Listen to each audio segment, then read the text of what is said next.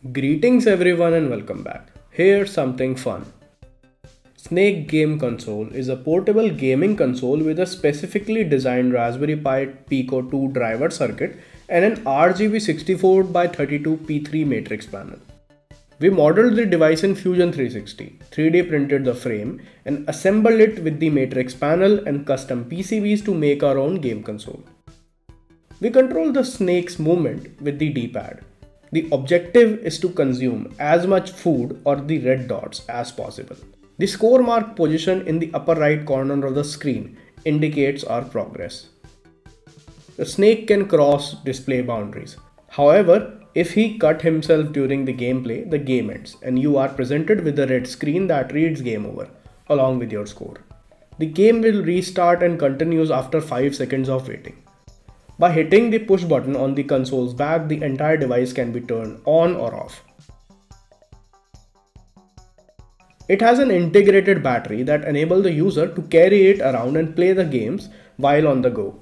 I've also prepared a brief instructables about this project which you can check out for code and other detail about this project. The link is in video description and now let's get started with the build. We are utilizing the 64 by 32 RGB matrix panel, which creates vivid text, graphics and animations by arranging 2048 RGB LEDs in a 64 by 32 grid. This matrix was produced by Waveshare and more thorough details on the matrix board may be found on its wiki page. As for sourcing this matrix panel, we got it from PCBWay's gift shop. The first stage in this project was to build the 3D model of the console, which has two hand grips like component installed on the backside of the matrix. We then create a model of the special button board on one side. The Pico driver circuit was then fastened on the hand grip frame with the four spacers and is positioned on the backside of the design. Using three M3 inserts that are already on the matrix, two hand grips frame component are mounted on the backside of matrix panel. Each hand grip has three mounting holes that we added so that the M3 bolt can be used to attach hand grip to the matrix. Using our PCBCAD software, we first created the schematic for the Pico driver board. We connected the matrix hub 75 pins to the Pico GPIO in the following order. We also added a CON5 connector for buttons and its 4 pin are connected to Pico's GPIO 6, 7, 14 and 15 and ground is attached to the CON5's 5th pin. We also incorporated a power management IC, the IP5306, a fully integrated multifunction power management SoC to power the entire setup. It can provide steady 5 volt 2.1 amps using a 3.7 volt as an input and which can be used to power any 5 volt device. In our instance, the Matrix and the Pico 2. Next, we prepare the schematic for the button board. It has 4 push buttons with 4 and 3 pin of each button connected to ground. Additionally, there is a CON5 connector that is attached to each connectors 1 and 2 for GPIO pins and 3 and 4 for ground pin. We use the PCB editor to prepare the board file by aligning all the components of both board by following the CAD layout. We made two PCBs for this project, the button board and the Pico driver board. Two orders were made, one for the button board and one for the Pico driver board. The button board PCB was ordered in white solder mask and black silkscreen while the Pico driver PCB was ordered in blue solder mask and white silkscreen. After placing the order, the PCBs were received within a week and the PCB quality was pretty great. Over the past 10 years, PCBWay has distinguished themselves by providing outstanding PCB manufacturing and assembly services, becoming a trusted partner for countless engineers and designers worldwide. Their commitment to quality and customer satisfaction has been unwavering, leading to significant growth and expansion. You guys can check out PCBWay if you want great PCB service at an affordable rate and low price. Using a solder paste dispensing needle, we apply solder paste to each component pad one by one. Next, we use an ESD tweezer to select and position each assembly component on the PCB.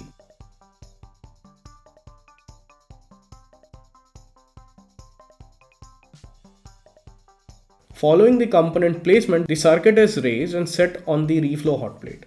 which raises the PCB temperature from below up to the solder paste melting temperature. Solder paste melt and all the SMD components are secure in this place when the PCB hits the temperature of 190 degrees Celsius. Following the reflow process, we flip the board over and use a soldering iron to position the 18650 holder on the PCB. After that, the USB micro port and push switch are installed. We flip the board over and solder both of their pads.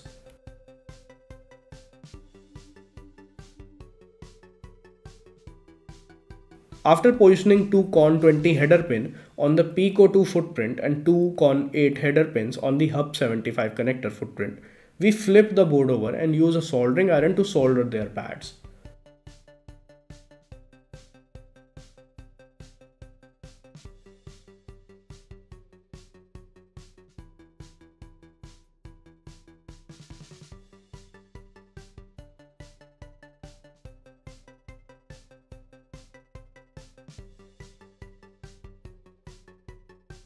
Finally, we install a lithium cell in its cell holder and position the Raspberry Pi Pico over the CON 20 header pin.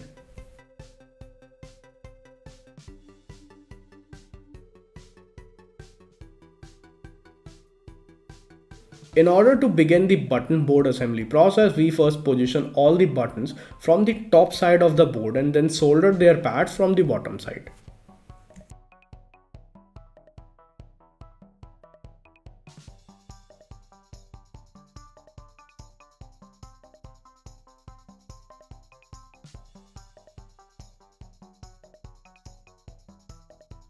Using the wire harness that was included in the matrix kit, we connect the Pico driver and the matrix together.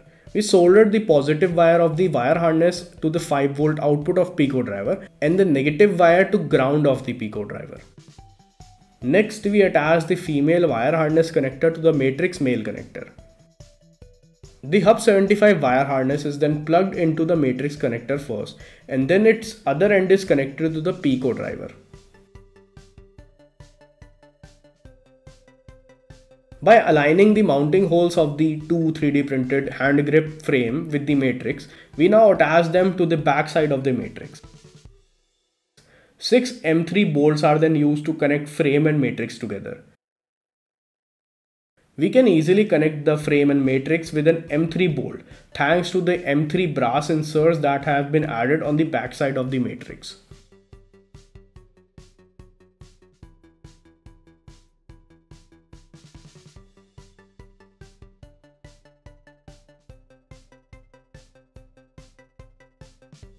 The button board is then positioned from the front side of the console and four M2 screws are used to secure it in its place.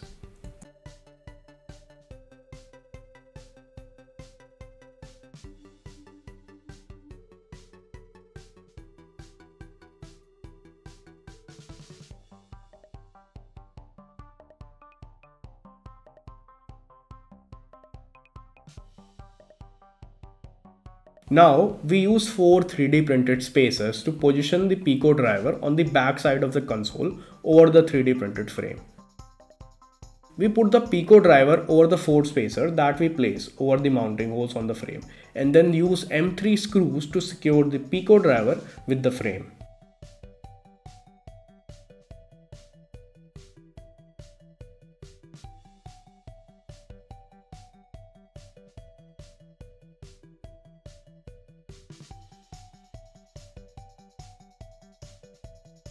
Wiring the D-pad button PCB and Pico driver board together is the final stage in the assembly process.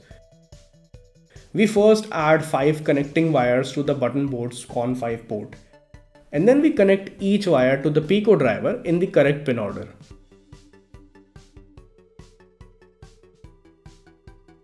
The button board's up pin is connected to GPIO 7. Down pin is connected to GPIO 6 left pin is connected to GPIO 15 and right pin is connected to GPIO 14. Once the wires between the Pico driver and button boards are connected, we carefully tuck the extra wire length within the frame and secure it with small bit of hot glue.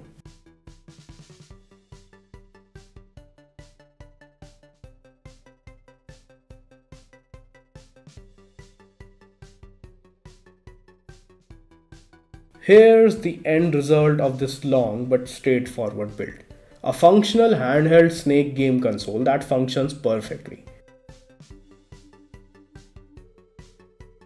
It has an integrated battery that enable the user to carry it around and play games while on the go. We can control snake movement with D-pad. The objective is to consume as much as food or the red dot as possible. The score marker position in the upper right corner of the screen indicates our progress. The Snake Game console can run virtually anything, including games. To run the games, we first need to build them ourselves or port already existing games, but that is a topic for another time. Let me know if you require any additional help. All the documents, file and codes are included in the project article which you can visit. Link is in video description. In addition, we appreciate PCBWay support of this project. Visit them for a variety of PCB related services such as stencil service, PCB assembly services, as well as 3D printing services. Thanks for reaching this far and I'll be back with a new project pretty soon. Peace out.